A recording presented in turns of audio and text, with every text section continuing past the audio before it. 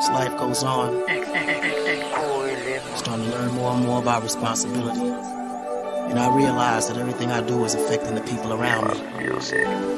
So I want to take this time out to apologize for things that I've done, the things that haven't occurred yet, the things that they don't want to take responsibility for. So, five.